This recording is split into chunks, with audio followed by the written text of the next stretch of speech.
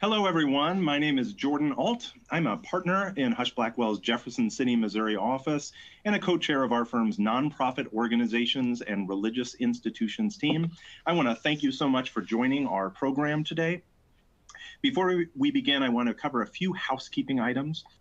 At the bottom of your audience console, there are multiple application icons for your use during the program today. If you have questions during the webcast, please submit via the appropriately named question box. We'll try to answer those during the webcast today. If a fuller answer is required or it's a little specific, we may uh, follow up by email. All materials for this presentation are available in the program materials folder. And because five of you will ask, it's just the slides. You can find them there. Uh, the program has been approved for legal education hours. So to report your hours, click on the CEU icon at the bottom of the screen. A certificate of attendance, including course numbers, will be emailed to you tomorrow, along with a recording of the webcast, which you can share far and wide or rewatch as many times uh, if, if we really knock it out of the park. And toward the end of the program, be sure to complete our short survey. We really do read and use those. Actually, this topic came from a survey from the last um, uh, nonprofit and church related webinar that I did. Um, so let's start with introductions. And I will also preface this by saying two thirds of us are sick.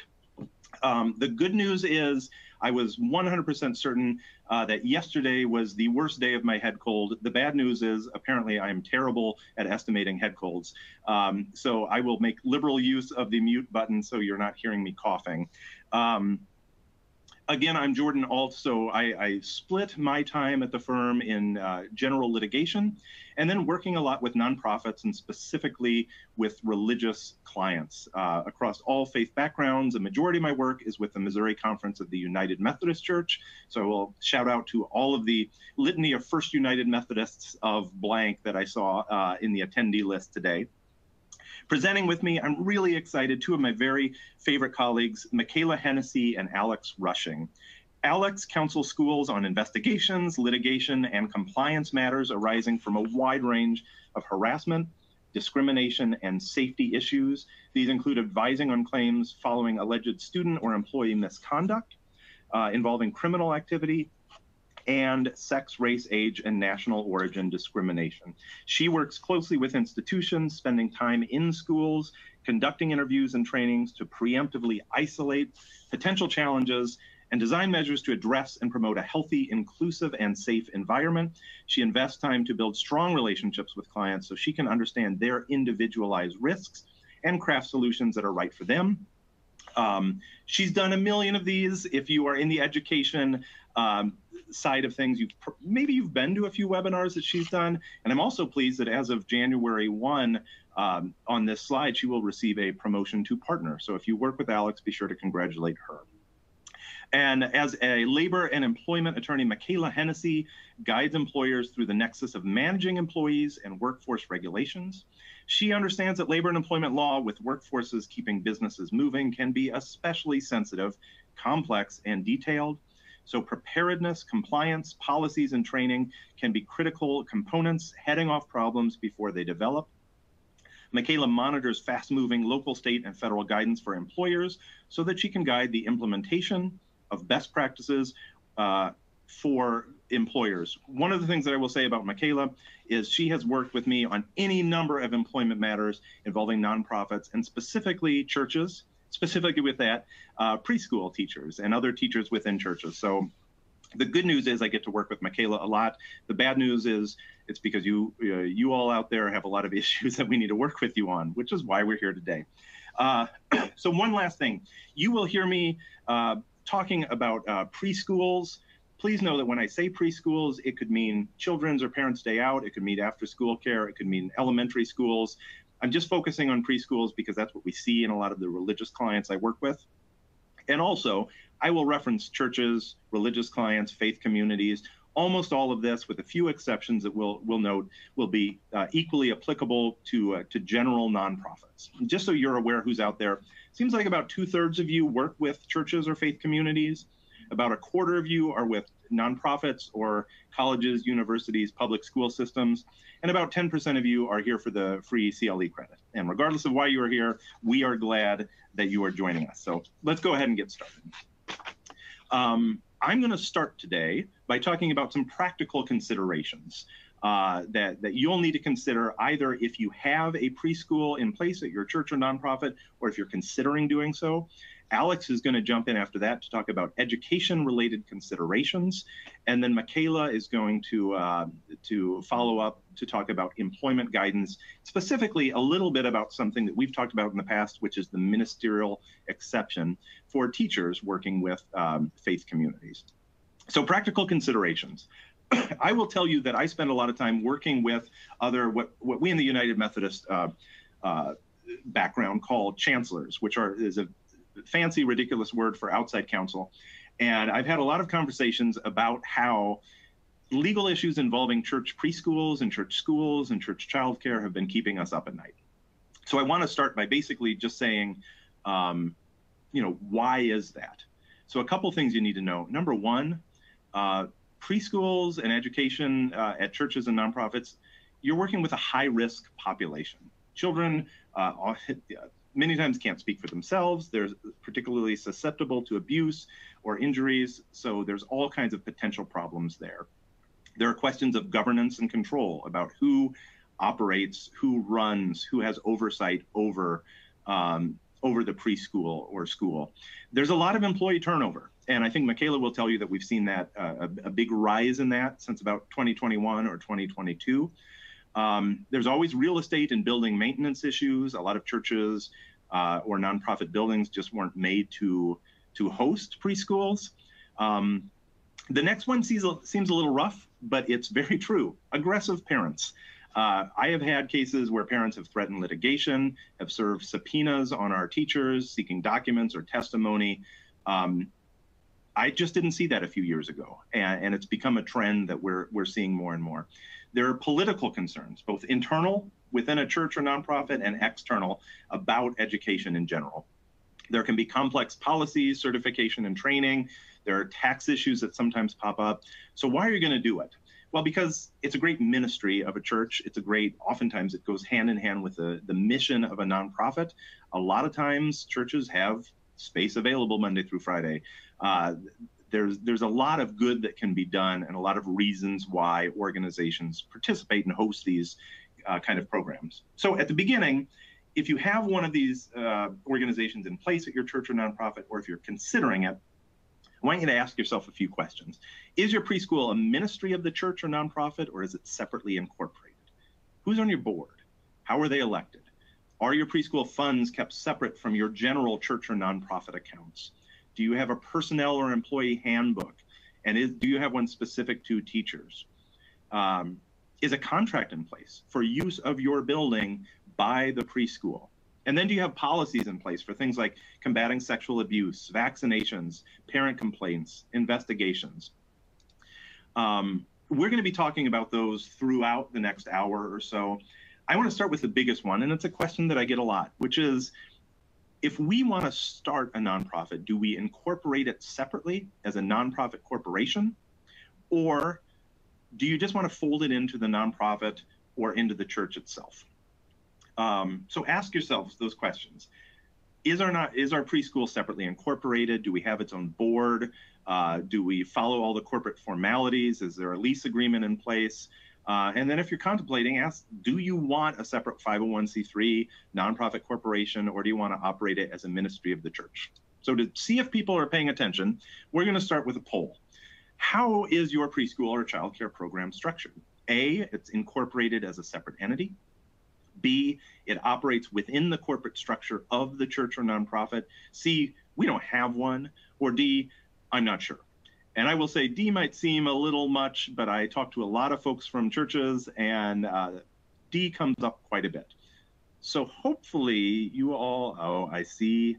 Uh, we just upgraded our uh, our presentation software, and I see votes coming in, which is exciting. We never used to see this live, uh, but now I can tell you that you are actually voting. So we'll give it just a second or two to kind of get a sense of who's out there.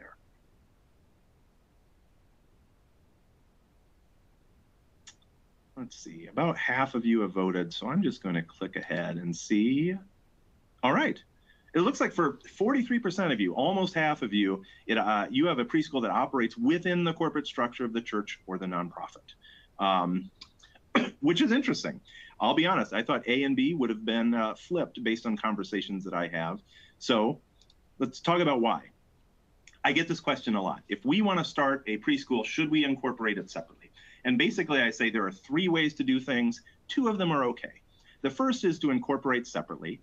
Um, the second is to just operate the preschool or childcare within the structure of the church or nonprofit. And the third, and at the risk of sounding un-PC and perhaps a little sexist, I call the little old lady model of church preschools. And I say that just because as I was growing up, every preschool I went to after every school, after um, after school care program was run by a woman who seemed at the time to be about 140 years old. And as I've grown up, I realized they're probably in their mid 40s.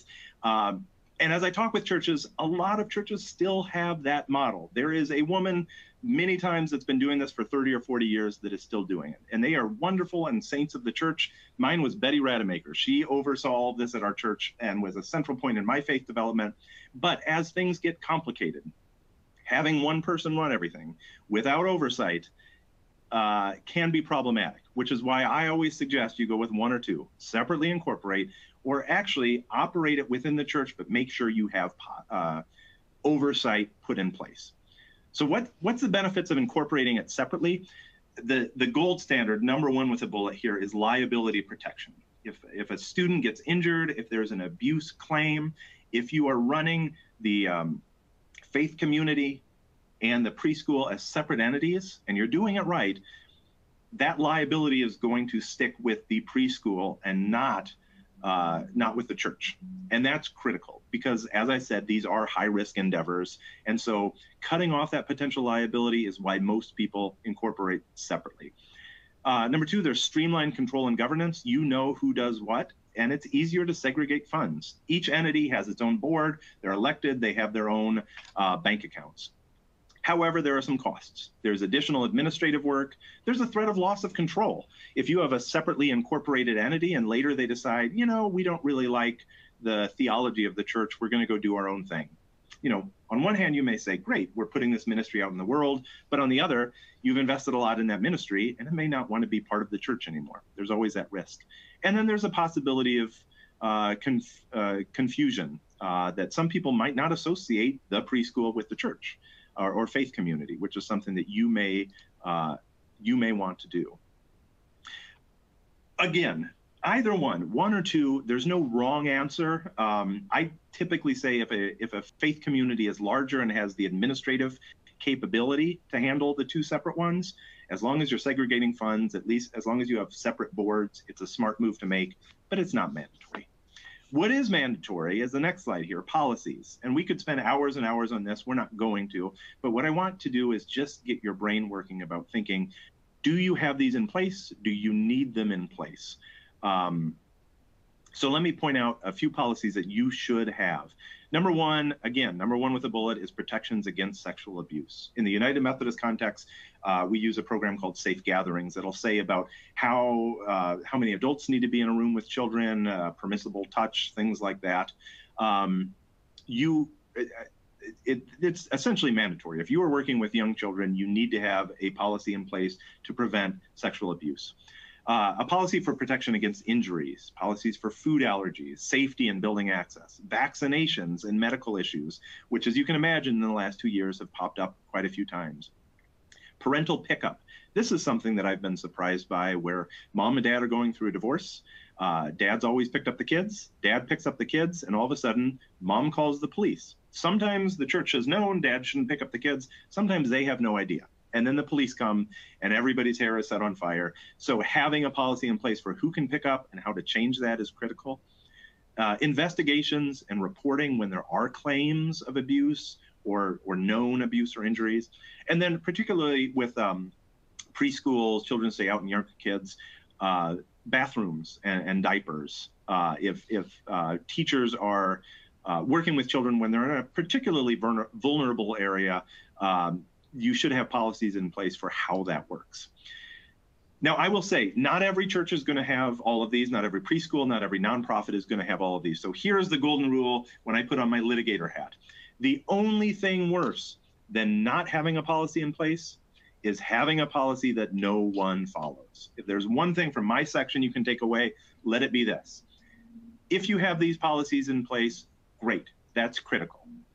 But here's what you need to do write them down, provide training, document the training so you know everyone who's going to be working with children has gone through that training. Follow the policies and share them, not only with staff, but with parents. And sometimes that can be critical. I'll, give you an example. I uh, used to volunteer at my church nursery, and uh, I remember one time I was there with four preschoolers or so working with a woman who'd been volunteering there for 20, 30 years. And she leaves and says, I'm going to go get a cup of coffee. And it hits me that I'm alone with four kids for about five minutes. And even though I know all this stuff, even though I train on this stuff, it was hard for me to take the step to say, hey, that's really not cool. We have a policy in place. You shouldn't be doing this. So making sure that there is an environment where enforcing these policies uh, is is critical. That that has to happen, and I'm as guilty as anybody else about that. Uh, generally, some issues about safety for you to consider, whether you have a preschool or not.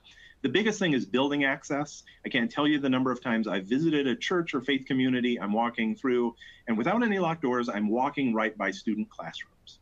I know you can't lock out or segregate that area in every church, but you ought to be doing as much as you can to make sure that area is segregated from the general population when school is in session. Generally, clear visibility into rooms. If you have kind of the bifold doors or doors with glass uh, or leaving doors open can be critical. Um, two adult requirement in classrooms, background checks for teachers and volunteers, accident prevention, like furniture that is um, up against the walls, uh, outlet covers, things like that. I will say from personal experience, um, uh, coffee pots and coffee machines with cords that dangle down are a problem. Don't have coffee pots with cords that dangle down. It's terrible. Uh, drop off and pick up, not only who's doing it, but making sure you're doing it in a safe way. Compliance with building and fire codes, communication plans, safety personnel in churches and, and faith communities. We've seen this pop up more and more, uh, particularly with the firearms policy. Some churches have safety personnel that are there when school is in session. Some of them they are uh, they are carrying. Making sure you know at the preschool level how that works and the um, interaction between the faith community or nonprofit safety personnel and the impact that they have and the interaction with the uh, with the school is going to be critical. uh, investigations. If you run a preschool or childcare long enough, there will be allegations made that need to be investigated. I get a lot of calls uh, where somebody calls and say, "Hey, the police just showed up. There's been an allegation against one of our teachers or volunteers. What do we do?" And the first thing I say is, "Thanks for calling. That was the right move." But also, comply with law enforcement and state officials. The worst thing, and I hate when people do this, and other people may suggest otherwise, but when police show up and you slam the door in their face and say, "We're not doing anything until we talk to their talk to our lawyer," talking to your lawyer is a very smart thing to do, but also cooperating and complying with those investigations is pretty important. Um, consider mandatory reporting requirements. You have them in your state. It depends on the state, but you should be training your uh, staff uh, on when to hotline issues. If there's an allegation made, I always suggest you need to remove the subject of the complaint from interaction with students. That could be putting them on leave, could be taking them out of a classroom, whatever needs to be happened so they aren't around students as the investigation takes place. If you are doing an investigation yourself, it needs to be documented. It needs to be documented carefully. And I always say, just the facts, ma'am. It can't be your, you know, that so and so seemed shifty or anything like that. It needs to be the facts of what you document. But other than that, I don't want you communicating in writing because what happens is emails, uh, voicemails, text messages become discoverable if there is litigation down down the line. So once the investigation takes place, document, document, document but those conversations should generally be taking place in person or over the phone. Uh, remember to contact your insurer if anything comes up. There are sometimes reporting requirements, and you have to do that within a, a certain period of time. You should be working with your staff to figure out how to notify parents of the allegation. Uh, not just how, but if, when, uh, when the time is right. There's a lot that can go into that.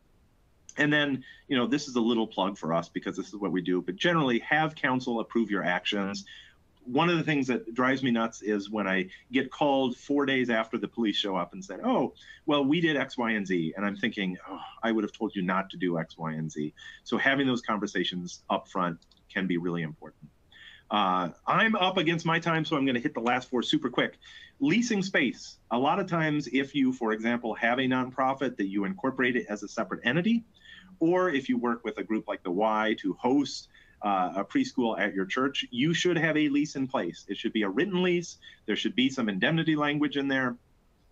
Uh, I get a lot of questions about what's called UBIT or unrelated business income tax. Basically, churches saying, hey, if we're getting lease payments and getting rent from the preschool, do we have to pay taxes on that? Generally, the answer is no, unless you hold a mortgage on your building. And then you may have some tax implications. You may think, well, that sounds dumb. Yeah, it is, but you should be talking to your accountant or your lawyer to figure out whether you have those tax implications so the IRS uh, doesn't come knocking. Um, like I said, we've seen an uptick in parents threatening lawsuits over vaccine policies, sharing or not sharing information, calling teachers to uh, to testify during divorce cases. It gets really tricky. Again, not to toot our own horn, but we deal with this a lot. Um, I would not allow my teachers to be working with counsel or working with parents that have threatened a lawsuit. I know that has to happen sometimes, but generally that's a good indication that you ought to bring counsel in to be working with these parents. Photographs on social media, I'm sure you've all heard, don't put last names on there. I will say if you have not gone to uh, training on social media policies, uh, it is one of the grossest trainings in the world because uh, if you do this long enough, you will find photographs that go to social media that find themselves in dark, dark places of the internet that you would never expect. And it turns my stomach just to say that, but to have those conversations with parents and to say, hey, these pictures are out there, there's nothing we can do about it is a really terrible position to be in. So make sure that uh, that you have a good policy in place that's communicated with parents, and then volunteer requirements. This is where I see a lot of schools slip up. They have volunteers that want to come in and help with something. That's great. Volunteers are wonderful. Volunteers still need to be vetted to make sure that they understand the policies, that you've done those background che- checks, especially if they're working with children. Um, so that was way more information than uh, than you can probably ingest in 20 minutes. Uh, a lot of the questions that you might have, we'll try to answer, but also most of this was to get you thinking about, okay, what do we need to do?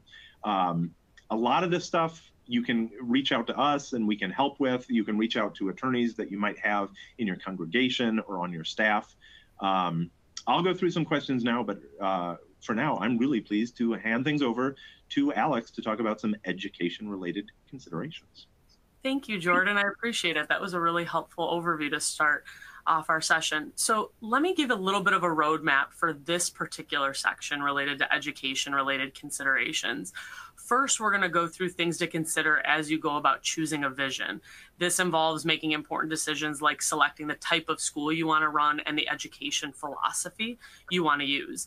Then we're going to switch gears a little bit and discuss how to create a united vision. Sometimes faith communities and nonprofits who see a need for a preschool or a childcare program don't want to tackle this type of an immense project alone. So they find another partner in their local community, like Jordan talked about earlier, um, that's also interested in joining this journey. In this second section, we'll dive into some important items to note when the daycare or preschool is in a joint venture specifically. And then lastly, in the education section, we'll talk about how to make the vision come to life. We'll discuss key items that should be included in the business plan, which ultimately becomes sort of your action plan, your marching orders. So let's pivot to my first poll question. And under this new technology software, I want to make sure everyone knows um, you have to actually click the answer within the slide itself, um, as opposed to before where via Zoom or something else it, it would pop out at you. We are now embedded into the system, and so you actually have to click the slide itself. Uh, where are you in the process of opening a preschool or childcare program? You are just thinking about it you are going to do it and have consulted experts on it. You have started drafting a business plan. You are in the process of executing the business plan, or you have an operational preschool or childcare program. And we'll wait a few seconds for those responses to trickle in.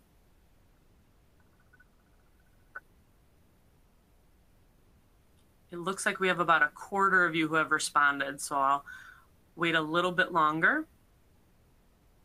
Hopefully we weren't minimized and you're, you're turning it around. Great, we'll clo close the poll in five, four, three, two, and one. Let's see those results. So it looks like about 39%, almost 40% are thinking about it. You're not yet in the consulting and expert or the business plan, certainly not executing on a business plan phase. We have about 1% of you, maybe one person, um, who you're going to do it. You've consulted an expert, but haven't yet developed that business plan.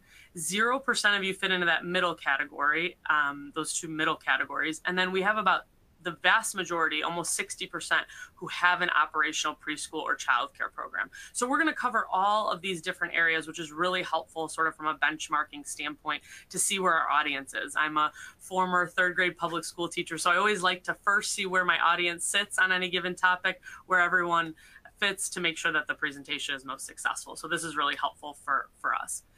So one of the first items you should consider is the type of school you wish to operate.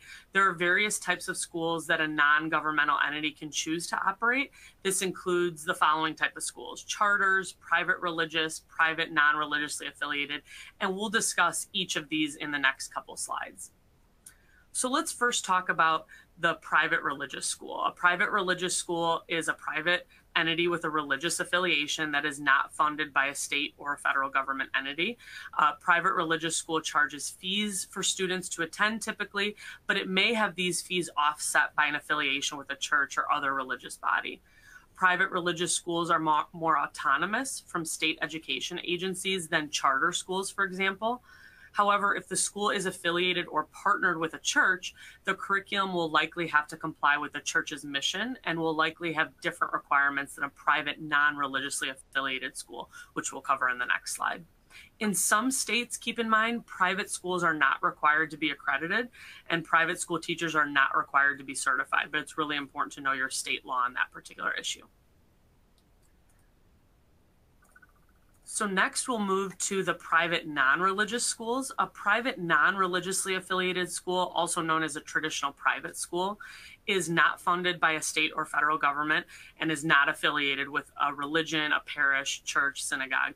A private non-religiously affiliated school typically charges fees for students to attend, and because there is no such affiliation, it doesn't have those fees offset by an affiliation with a church or other religious body. Therefore, the cost of attending a private non religiously affiliated school is often higher than a private religious school. That's just typically from a benchmarking standpoint.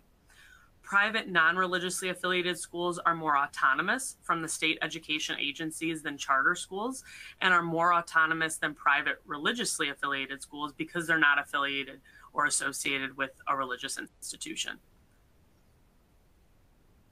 Next, we'll move on to charter schools. Uh, charter schools are independent public schools and are free from some of the rules and regulations that apply to traditional public schools. As a result, charter schools operate through contracts with an authorizer.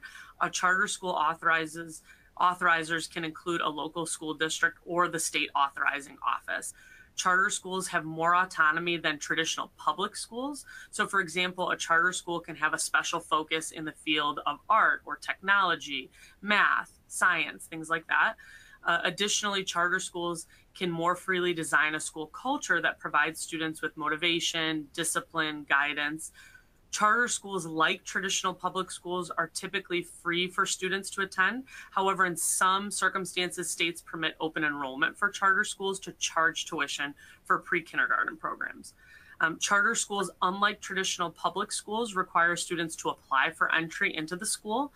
In some states, open enrollment charter schools must use a common admission application. So, again, something to keep in mind depending on what state you're, lo- you're locally operating in.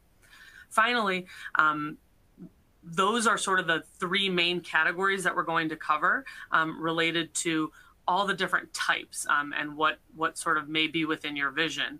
Now, in terms of choosing a vision, um, this is not an exhaustive list in terms of what the educational philosophies are, um, but here are some that we've seen and helped advise schools on in terms of identifying what matches with their vision and what will be best for their student population and their community. An educational philosophy focuses on the big picture, how students should learn and how teachers should teach to maximize the student's potential. A curriculum is the specific set of tools and programming that a school employs to maximize that potential desire um, by that educational philosophy. So we'll discuss each of these types of philosophies because I know we have, just based on the attendee list, folks covering all across the board. So let's first dive into Montessori philosophy.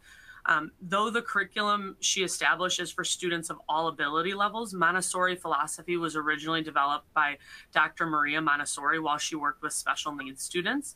Um, Montessori philosophy believes in following the children, letting the children choose what they want to learn, and having the teacher guide that learning.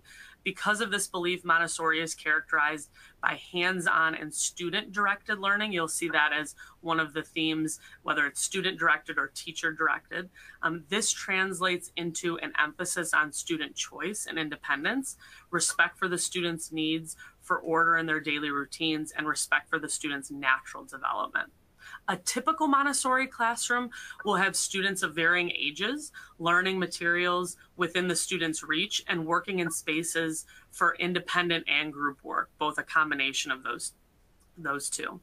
Montessori schools are not required but encouraged um, to have a Montessori trained teacher at each appropriate age level for each class. And next, we'll talk about the Waldorf philosophy. This philosophy is based on Rudolf Steiner's theory of child development.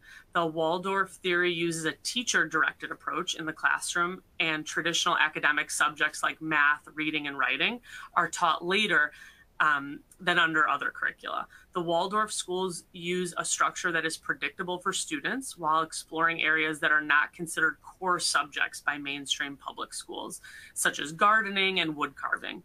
The goal is to ultimately provide students with experiences that allow them to independently and creatively approach problems. Let's move on to the next category. This is sort of a more general category of learner centered philosophy.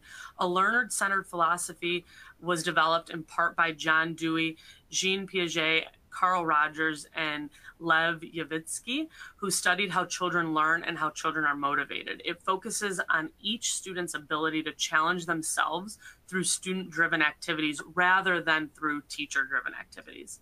The content in learner centered philosophies is dictated by student questions and curiosity rather than by teacher lessons, homework, or traditional testing. It also encourages communities of learners where students work together to develop skills.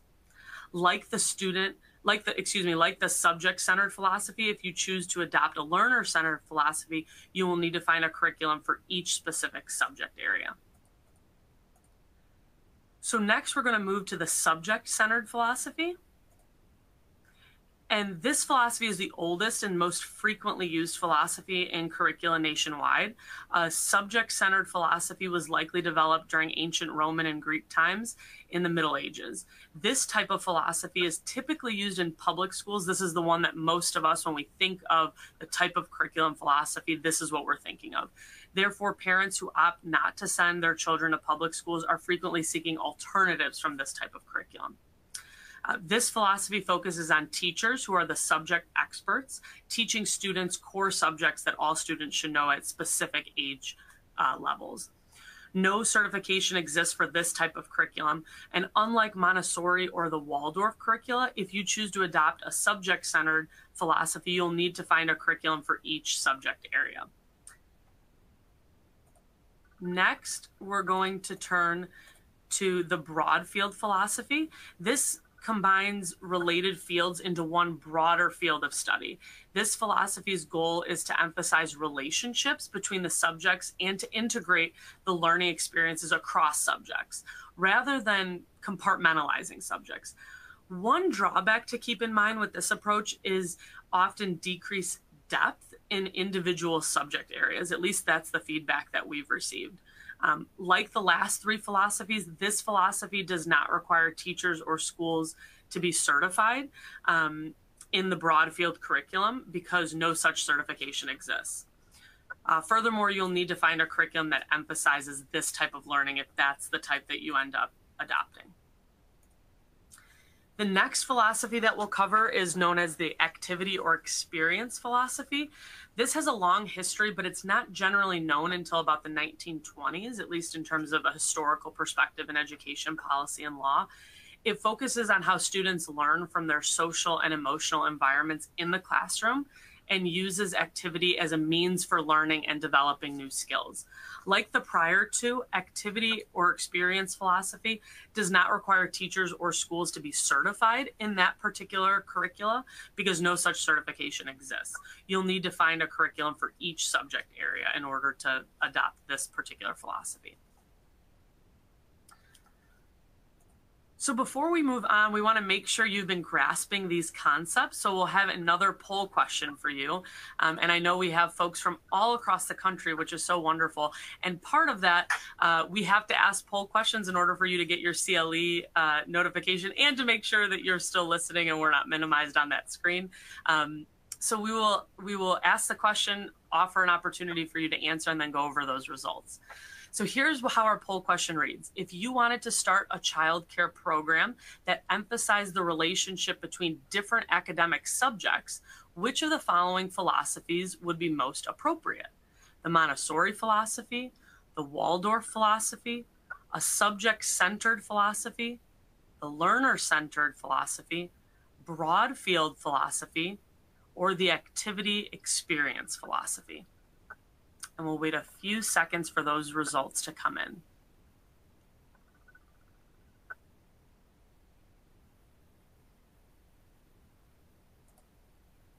I see the results slowly trickling in, which is great. It looks like we have about half of you who have responded. So we'll wait a few more seconds. Wonderful. I feel like as I say those results, uh, folks are making sure to submit their answers, and hopefully you're seeing what we meant earlier by by the fact that the slides are now embedded. The poll questions are embedded within the slide.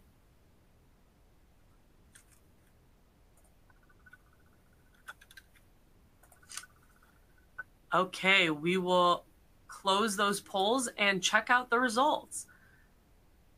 Okay, so it looks like we have about 12% of you that answered Montessori philosophy, 6% that said the Waldorf philosophy, 36% said the subject centered philosophy, 9% said the learner centered philosophy.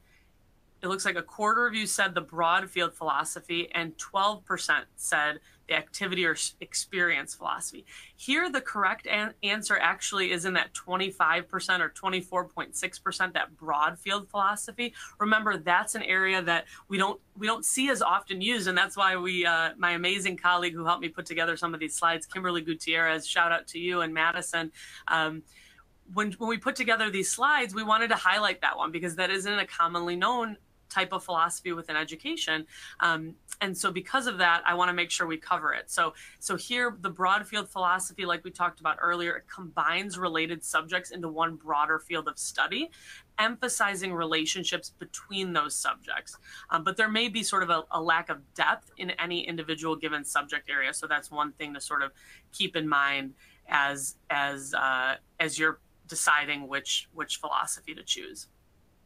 Okay, so let's now talk about when you're actually choosing a vision um, and what type of programs uh, can be often for, offered. First, you want to consider offering programs in language aside from English. Being bilingual is a benefit in almost every industry and can open doors for a better future. Um, when deciding on a language teaching model, you may consider a one or two way model in a one way model, you would teach the students in the target language for more than 80% of the time, even core subjects. In a two way model, you would teach in English 50% of the time and in the target language the other 50% of the time. If you would like to teach in a language other than English, it's important that you think through how you will merge that choice with your educational philosophy. Something to keep in mind. You may also want you may also be considering having religion play a role in your preschool or childcare program if you choose to have religion play a part, you should consider the extent that religion will be a part of the curriculum. Uh, there are other benefits to having religion to be part of your school. For example, the church may be able to advertise at other local other locations and help drive students to your school. Um, they may also be able to financially support the school, like Jordan dove much more in depth on that topic during his section. Um, if the preschool or childcare program is operated under the religious entity's exclusive control, it may likely qualify as a license exempt entity under state law, again, depending on what what state you're in. However, if a religious organization enters an arrangement with a non religious organization for the maintenance or operation of the child care facility, then the facility is no longer considered under the exclusive control of the religious organization. Um, therefore, the religious entity will likely not be able to cl- claim a religious organization license exemption and will be required to obtain a license for the daycare. Things to keep in mind as you're creating that vision and, and licensing considerations. I see I'm running up on time, so all of our slides are available, and I want to make sure that Michaela has a wonderful opportunity to talk about the employment considerations. A few highlights, since I see some folks in the attendee list um, who have these entities um, and these legal arrangements, these legal formations. Um, things to think about when you're creating your childcare or daycare facility is whether you want to engage in an MOU or a services agreement, whether your partnership or um, engagement will include one of those. Here are some considerations to keep in mind um, as you're developing that. Um, also, whether you want to create a joint venture or a separate nonprofit entity um, joint venture. Again, these are all considerations as you're developing sort of the legal formation of your specific preschool or child care center. Now, making your mission statement, this is a really critical piece that I think a lot of folks think about in the beginning, before even they get to the legal formation, before they even get to thinking about the educational philosophy. And so you want, you want to make sure that you revisit it at this phase too. Who are you? What makes your daycare or childcare facility unique? Who do you plan on serving and in what way? Um, I think that that's going to be really important um, as you develop that business plan and that you you know, as you're talking to donors and things like that that are part of your community. There are also some financial aspects that are important, and I, I would be remiss if we didn't cover them. So I want to make sure I, I dive into that as well. Um, you should think through a sales forecast, which typically includes spe- specific projections for at least the first three fiscal or academic years of your school. The sales forecast should include detailed discussions on the bases for your forecasting and whether there are any assumptions you made in preparing your forecast. Next, you should consider the sources of your income. This should account for the various ways that your school plans to generate income to maximize profits and ensure your long term sustainability. For example, think through the pricing strategy that you plan to employ, if you plan to employ one, um, to generate income from the students and think through who could be potential donors. Um, when thinking through employment, it's important to discuss how it will be carried out, how employees will be paid, whether they will be paid more if they have more experience, and your plan for retaining faculty and staff. Finally, sustainability and expansion discussions should address common pitfalls to the long-term success of non-traditional schools. Sustainability and expansion, expansion should not just consider student enrollment, but also faculty and staff retention. I often see that as sort of the overlooked piece within within this entire framework of developing and having a successful preschool and childcare facility, which I think is a beautiful prelude to my colleague who's going to talk about sort of the employment side of operating a childcare or a preschool facility. I'll turn it over to you, Michaela. Thanks, Alex, and also thanks, Jordan. First of all, as you can tell from my voice, I'm a little nasally, so I'm one of the one of the two individuals with a little bit of a head cold, so I apologize for that. But I'm excited to be joining everyone today. So, as Alex mentioned, we're going to be looking at general employment guidance for nonprofits, specifically with a focus on religious employers. While advising employers, we often notice that there is a higher employee turnover rate at daycare or preschool programs, whether it be affiliated with a religious entity or not. At times, it's an easy separation of employment. Both the individual, the individual and the employer go their separate ways but other times the employment separation can turn into a legal dispute. We therefore should consider how to prepare for these potential employment legal matters arising from daycare programs. Today, we'll focus on the doctrine of ministerial exception, as Jordan mentioned, and then discuss how to best position an employee of the daycare program to be considered a minister under the law.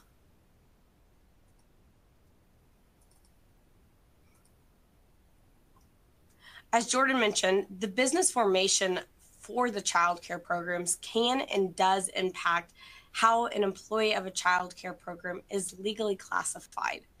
In the employment world, whether the child care program is considered a separate entity or one with the church can shape the legally cognizable defenses that may arise in an employment dispute. Courts often look to three main um, factors employment policies, such as employee handbooks, the management structure, so whether the daycare providers all report to some, some core entity in the church, and then finances. Obviously, the more intertwined the church and the child care program are, the better when considering the doctrine of the ministerial exception. So let's talk about the ministerial exception. As many of you know, a grieved employee can bring local, state, and federal claims against their employers. Today, we'll focus on the federal law, but states and local law have also adopted, adopted these same principles and laws. Under Title VII of the Civil Rights Act, employers are prohibited from discriminating against an individual based on race, color, religion, sex, national origin. And as the names imply, under the Age Discrimination Act and the Americans with Disabilities Act, both of these statutes prohibit discrimination based on age and disability. For religious employers, however, they are granted an additional defense to employment claims that other employers are not awarded. This defense is called the ministerial exception. Under the ministerial exception, employment discrimination suits are barred if brought by an employee of a religious employer who qualifies as a minister. The ministerial exception is a legal defense, and as framed by the Supreme Court, religious institutions have a discretion over whom they employ as ministers pursuant to the First Amendment.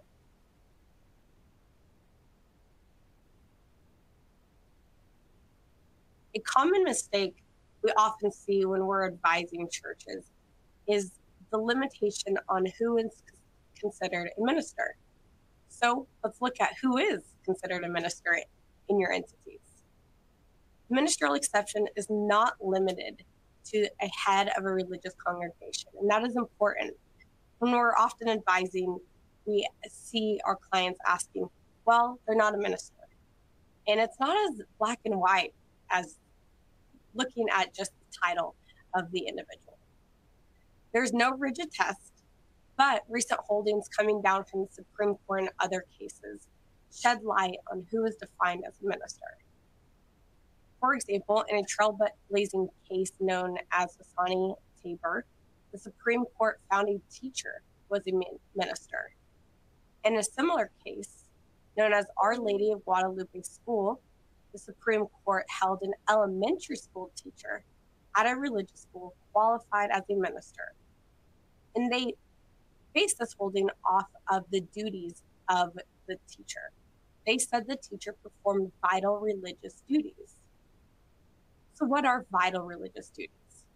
These have included, but are not limited to, educating and informing students in the religious doctrine, also conducting worship services or religious ceremonies and rituals such as prayers or daily devotionals, as well as serving as a messenger or teacher of the faith.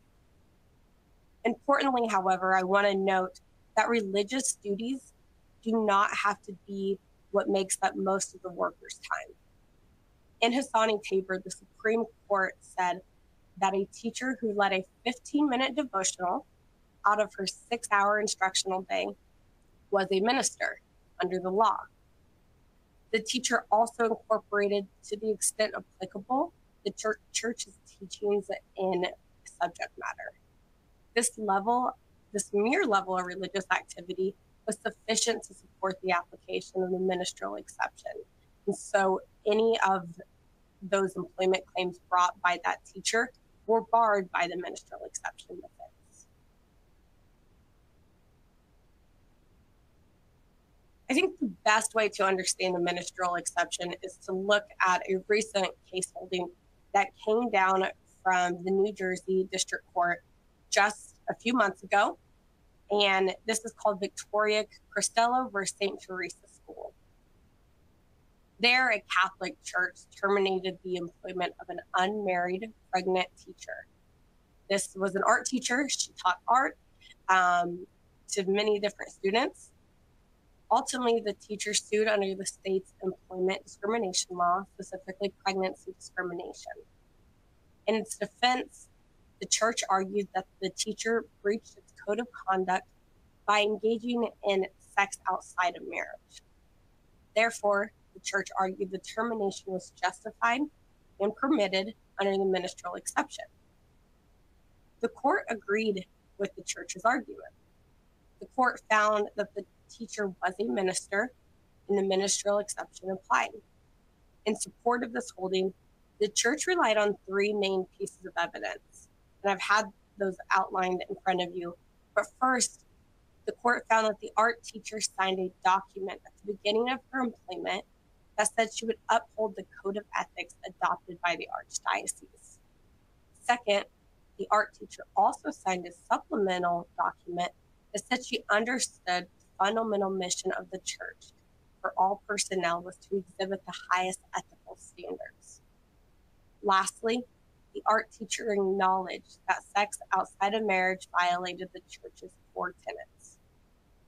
Though the art teacher did not educate students in the religious doctrine or conduct worship services, the court found that these three acknowledgments by the art teacher were enough to consider the art teacher a minister.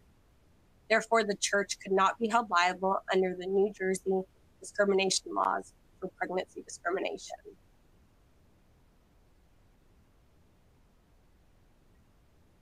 This brings us to recommendations on how to position your employee, specifically an employee in the daycare program, to be legally considered as a minister. And obviously, as you've seen, if you can position your employee to be a minister under the law, it's recommended. It's easy to see that an employee with the formal title, title of pastor, bishop, or the like will tend to fall under the ministerial exception. But courts often and most importantly weigh the job duties in applying the ministerial exception or not. Based on the examples we provided, we recommend that employers seeking to apply the ministerial exception to a, to a position do the following. First, update internal documents such as employee handbooks to reflect the institution's religious mission. Second, ensure employees have explicit religious duties. For example, religious instruction, leading prayer, daily devotionals, or any of the like. The job description is also something that a lot of employers overlook. And this is one of the most important documents I tend to look to when I'm trying to classify an individual as a minister under the law. The document should expressly state that the employee is required to contribute to the institution's religious mission, and any of those religious goals or job responsibilities should also be set out forth in that job description. Another consideration is to tie performance reviews to religious standards, such as modeling the faith in their personal daily interactions. Lastly, the qualifications or learning opportunities are also relevant when considering whether the, whether the ministerial exception applies. A religious entity can better position itself to take advantage of the ministerial exception if it requires its employees to have or to pursue some sort of theological or ministry related experience or degree. This can be as simple as completing a Bible study course or class in the church's doctrine, or actually having a theological degree. There is no question that if you can position an employee to be considered a minister, you should do that in chance of an employment discrimination claim arising and religious entities that proactively design and shape staff positions with these factors in mind are more likely to benefit from this ministerial exception. I'm going to turn this right back to Jordan to close us out, but thank you for letting me join you guys today. Thanks very much, Michaela. Uh, for those following along at home, uh, the good news is I hit the nail on the head with my overdose of cold medicine, and I got about 20 good minutes, and, and, and you got it. So that, that was great. Um, I've been monitoring questions that come in. I'm going to give two quick answers or really non answers, unfortunately, uh, just kind of based on what we've seen coming in. The, the first is really unfortunate and a sign of our times that I had multiple questions about uh, threats of violence against a faith community, specifically a synagogue. Um, first, I will say that my hearts go out to all of you. Uh, I can't imagine that is terrible. But as far as providing guidance on how to respond to that, it's really hard to do.